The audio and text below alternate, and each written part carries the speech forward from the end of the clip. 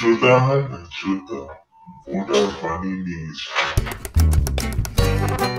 welcome back to my channel Dev verse তো তোমাদের সেই কথাটা মানে এই দুঃখের কথাটা আগে বলেছি কিনা জানি না, যে আমি পড়ছি এখন ক্লাস ইলেভেনে আর আমি ভুল করে সায়েন্স নিয়ে নিয়েছি। এখন বুঝতে পারছি মানে সায়েন্স নেওয়াটা যে মানে কত বড় একটা পাপ মানে এটা মানে হেলের মতো অভিজ্ঞতা আসছে যেন তো আজকে আমার কেমিস্ট্রি এক্সাম ছিল। তো কেমিস্ট্রি পেপার সামনেই আছে।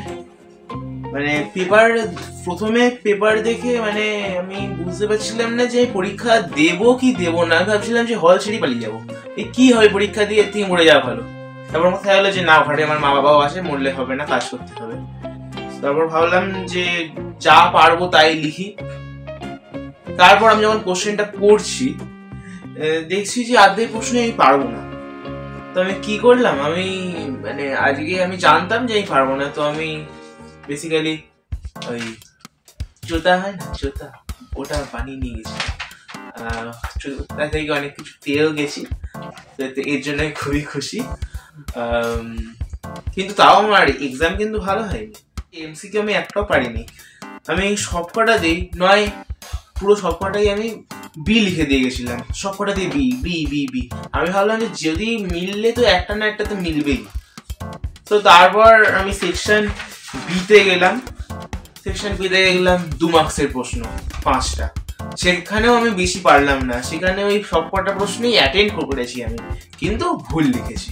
এটা আমি শিওর আমি যখন একদম লাস্টে সেকশন ইতে গেলাম তখন মনটা একটু আমার ভালো লাগল, কারণ ওখানে পাঁচ মার্কসের অতটাও বেশি লিখতে হতো হয়নি আমাকে। প্লাস যদিও লিখতে পারিনি আমি। পাশের আমার একটা বন্ধু আসে, সে মানে ভালো কেমিস্ট্রিতে তো তার থেকে জানলাম। তো সেটা আবার যে গার্ড দিচ্ছিল, সেই ম্যাম দেখতে পেয়ে সেই মেয়েটাকে সরিয়ে দিল। মানে কি বলব? মানে ভাগ্যটা এরম হয়ে গেছে। তো তাও আমি ঘরে এসে ক্যালকুলেশন যখন করতে বসলাম কেমিস্ট্রি পেপারটা যে কেমন হয়েছে আমার পেপার তখন দেখলাম যে আমি পেয়েছি আমাদের সত্তরই পরীক্ষা হয় ক্লাস ইলেভেনে তো আমি দেখলাম আটচল্লিশ উঠেছে। এবার আমি আটচল্লিশ যখন উঠেছি, আমি ভাবলাম যে এত তো মার্কস আমি পাবো না, আমি ওটাকে ওই ছত্রিশ করে দিলাম। তো এই ছিল আমার আজকের এই কেমিস্ট্রি এক্সামের অভিজ্ঞতা। আশা করি তোমরা ভিডিওটা এনজয় করেছ। আর যদি ভিডিওটা ভালো লেগে থাকে, তাহলে অবশ্যই কমেন্ট করে জানাবে আর একটা লাইক করতে ভুলবে না। আর বন্ধুদের সাথে অবশ্যই ভিডিওটিকে শেয়ার করে দেবে। সো আজকের মতো বাই বাই